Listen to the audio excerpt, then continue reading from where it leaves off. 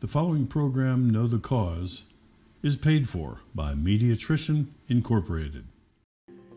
Boy, we have a lot of guests today. We'll get them all in. A couple of doctors. My dear friend, Dr. Lee Cowden, is going to be talking about electromagnetic fields. Hello, Mom? Couldn't be, could it? We'll get him to talk about that.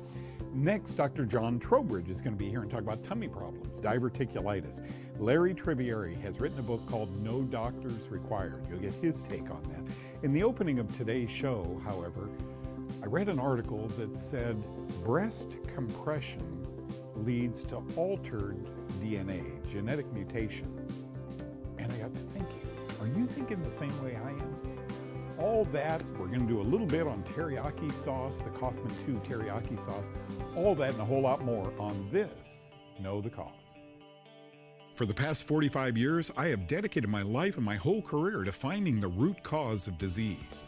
And I now know with certainty that we must play a role in our own health care. I'm a self care advocate, and you know what? Every time you change your diet for the better, exercise, or swallow a nutritional supplement, so are you. Now, welcome to know the cause.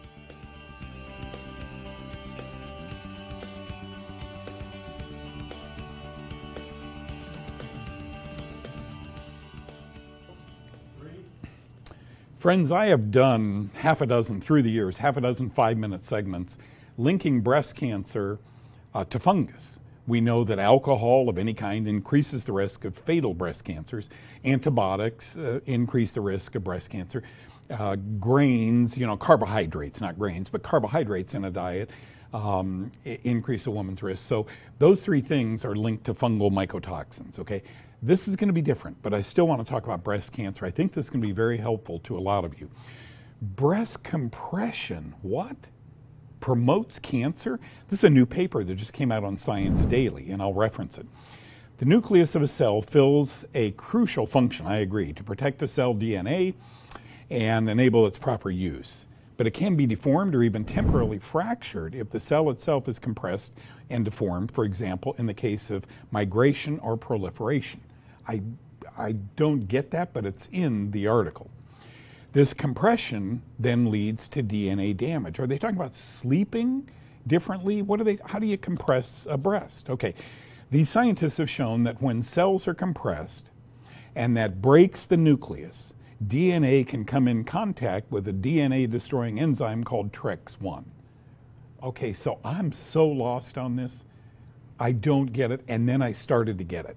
I sat there at my den the other day and said, wait a minute, breast compression. What is breast compression? I've heard of compression causing DNA damage. I'm sorry, I've never heard. Stop.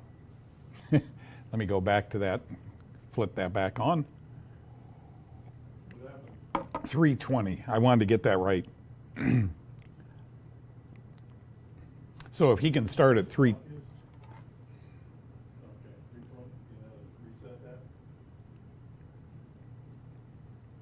Start out on the slide, okay. Start out on the slide, okay. Oh.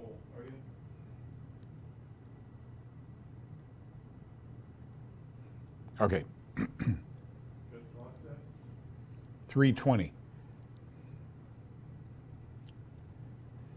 There you go. Good, bud.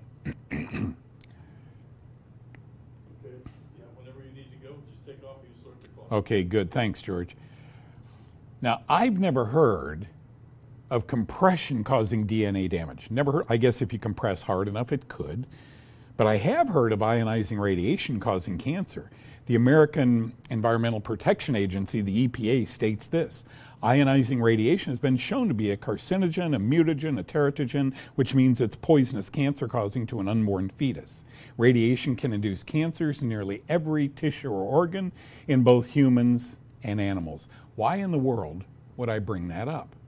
You know where I'm going, right? You've been following me for years and years and years. Here's the formula, folks breast compression plus infusion of ionized radiation equals mammography. Now, don't please ever get me wrong here. This show should be considered educational and it's based on data. All my graphics have references on them. It's based on current data. I don't believe an OBGYN, a breast cancer specialist, is going to say, don't get a mammogram. Get a mammogram, okay? OSHA says when ionizing radiation interacts with our cells, it can cause damage to the cells and genetic material, DNA. If not properly repaired, this damage can result in the death of the cell or potentially harmful changes in the DNA of the cell. Wow. Uh, okay, let's keep going. 27 years ago, The Lancet, it's a medical journal that's quite respected, the Lancet Medical Journal published this article about screening mammography.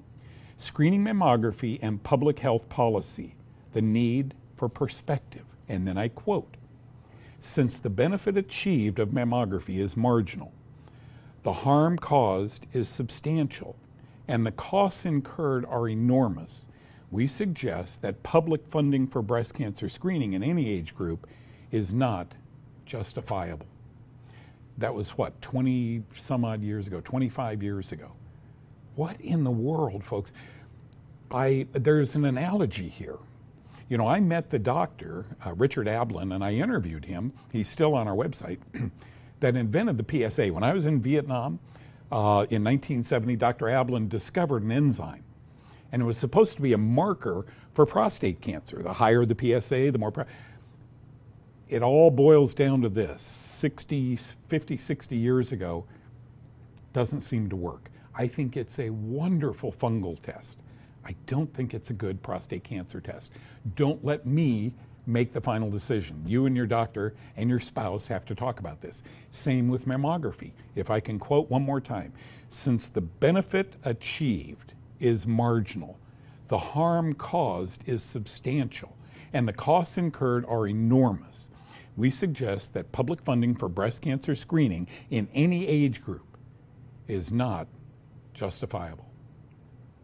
You just need to understand, ladies and gentlemen, that cancer screening, prior to cancer screening, 100% of us should watch our diet, should exercise on a regular basis, should take the proper supplements, and take medications when absolutely necessary Okay, I hope that helps. Don't not get a mammogram because you saw this segment.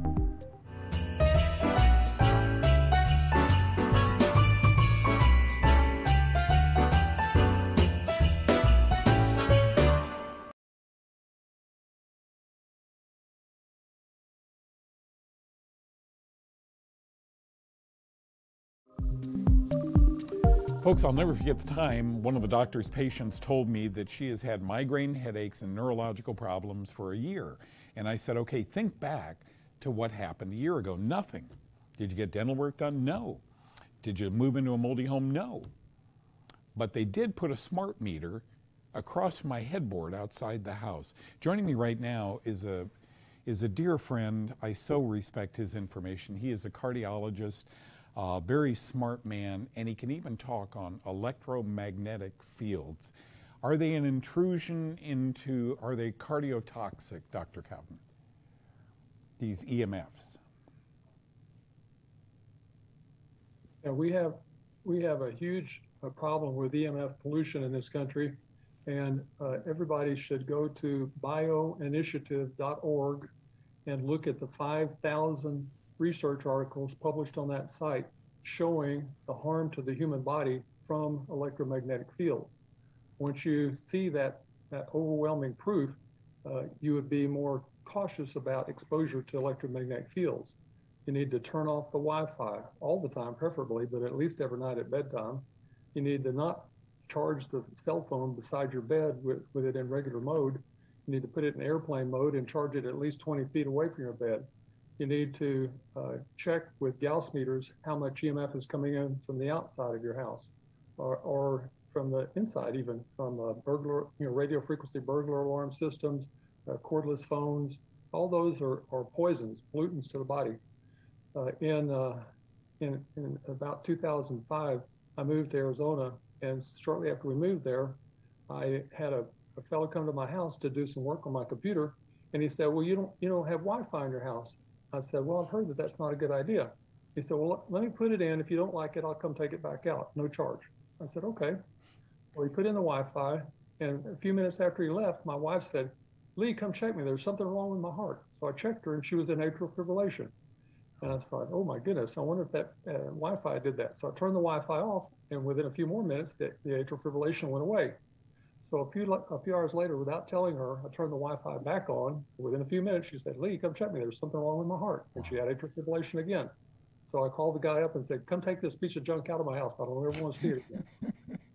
and you know what? I mean, look, we are running to doctor and doctor and doctor and doctor. We have nerve problems, we have heart problems, we have all sorts of health problems, and shh, under the radar, electromagnetic fields thrive. Folks, it's fascinating to me how medicine was a 2 trillion, then became a 3 trillion, now a 4 or 5 trillion, and it wants to be a 6 trillion dollar business. As long as we have what some believe are intrusions and cardiotoxic or nerve toxic uh, electromagnetic fields, all I want you to know is this. Do the study Dr. Cowden just talked about. Uh, they're all around you. You're on a cell phone. They're even in cars now. They're, you're plugging in a cell phone. You're watching movies, Wi-Fi throughout your house. Go, rent a cabin way up high, 9,000 feet in the air, with no Wi-Fi. Don't take your cell phone. See how you feel in three days. That, Dr. Cowden, is how people probably should feel. Is that your take?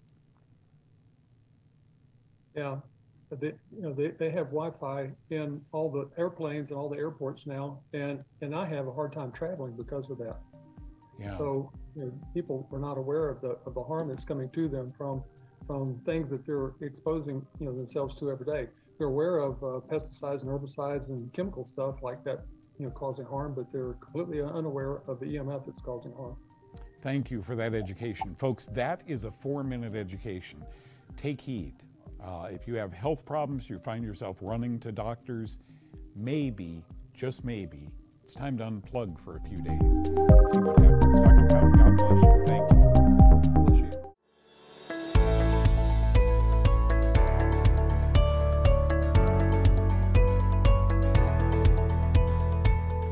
Depression is a serious condition in children and adults, and it can leave a person feeling helpless, lonely, and very disconnected from their life. The Center for Disease Control estimates that depression affects one out of every 10 people in the United States. As a pharmacist, I know we use strong pills for depression, and some of these are mind numbing. It's interesting to me that researchers conducted a study and they decided that fish oils work just as well as a popular drug called Prozac in many people.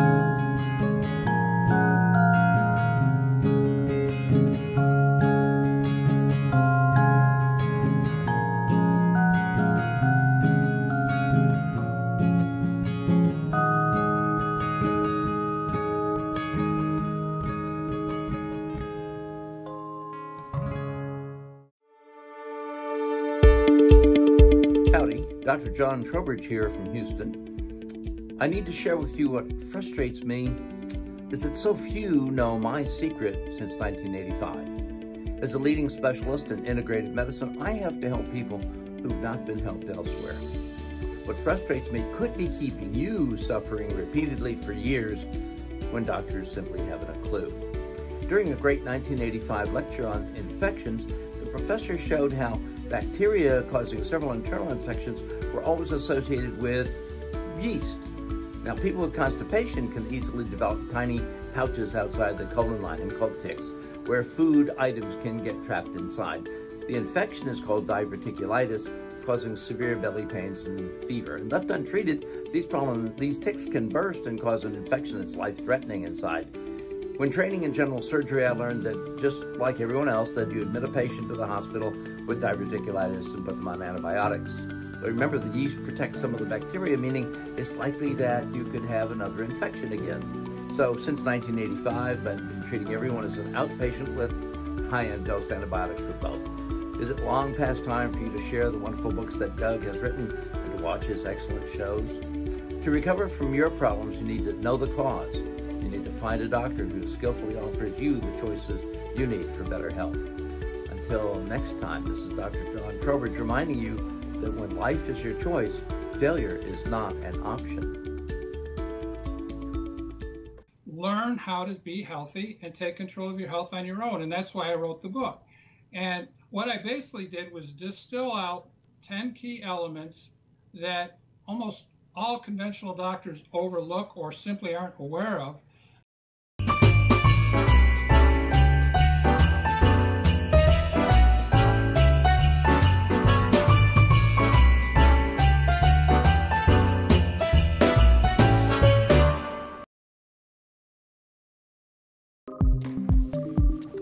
Okay, I'm going to preface this next four or five minutes by saying everyone needs this book.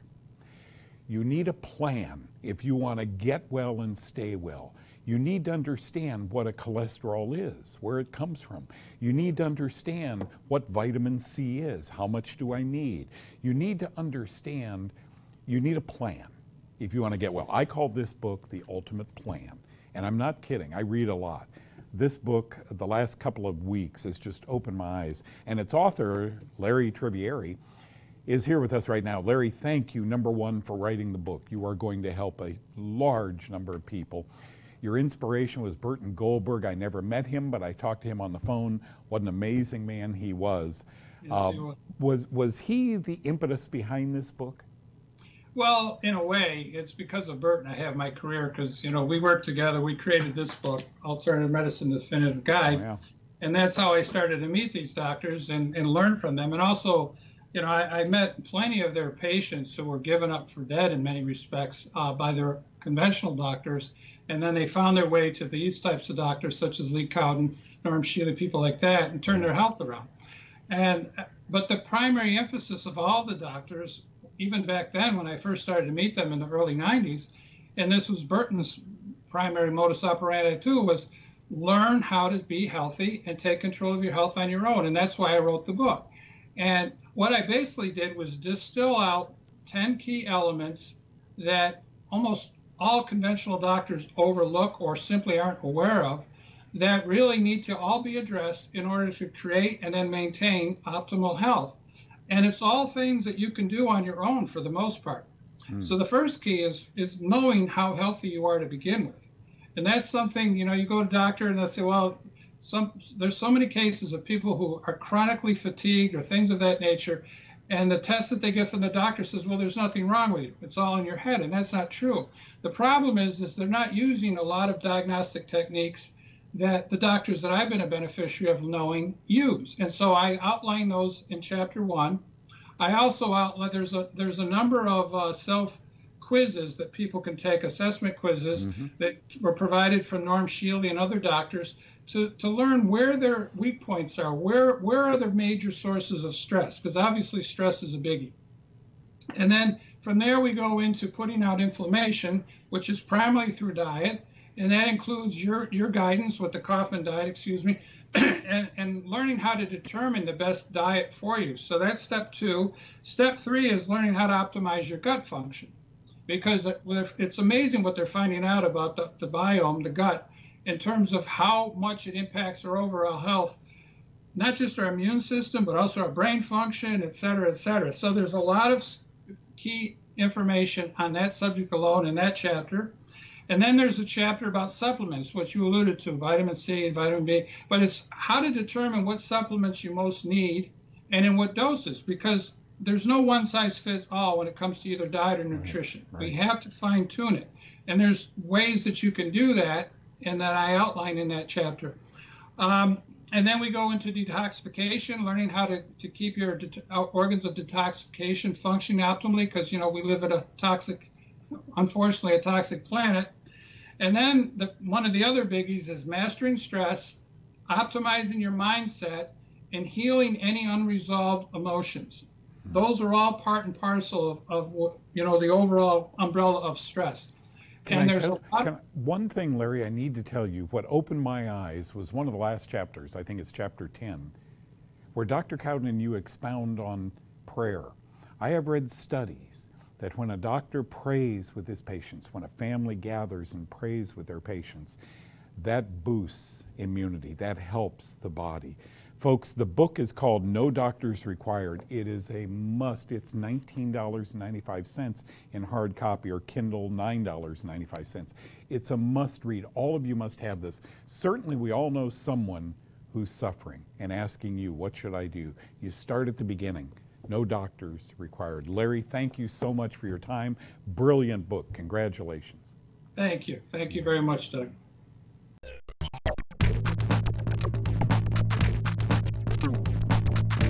Not that any of us want pain, but did you know that exercise has been shown to increase your pain tolerance?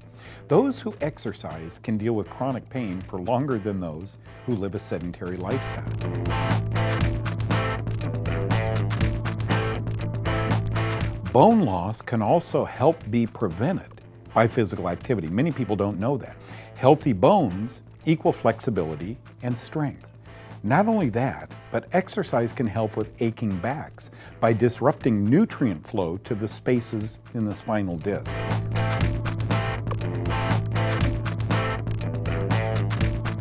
I think it goes without saying that exercise serves so many purposes stress reduction, depression reduction, and now we learn it minimizes pain. That's a good thing.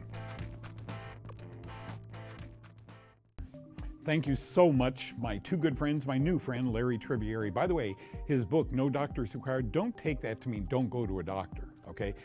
Doctors can be life saving. What he's talking about here are elements that are overlooked inside the exam room. Great book, great guy. Thank you, Dr. Trowbridge. Tummy problems linked to fungus. Thank you, Dr. Lee Cowden, a friend of mine for many, many years. Imagine electromagnetic fields, hello, mom, those linked with neurological degeneration or neurological problems. Great teriyaki sauce, right? Finally, breast compression and ionized radiation. You don't suppose. Hope that helps.